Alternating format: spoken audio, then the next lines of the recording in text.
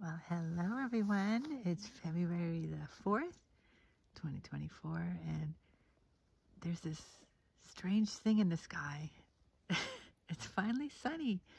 We've had a very, very gray winter. Usually up here in the Adirondacks, the sun comes out every day, but it's been a odd year. Um, but we're up at camp, and our little cabin is holding up well with the winter. And today our project is trail maintenance. So we've been just putting ribbons on trees for the trails. And uh, some of them have come off.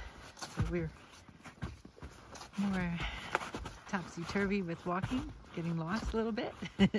just one. Um, but we do have our compass with us now. So this trail is the trail on the way to the outhouse. So it's usually very well worn, but, but going past it, we had just kind of marked a trail right past the outhouse, which of course is not ideal. So we're gonna remark it going around the outhouse with a little distance for odors. And uh, we're gonna do some auto marking. All of our yellow trails right now are north and south, and our blue trails are east and west. Hey, Jeff. Hey. Marking trails. We're marking trails. Yay. We thought we'd have our trail go near the outhouse, but not next to it.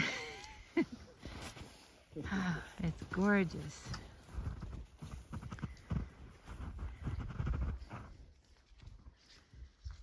It's just so nice to be in the winter woods.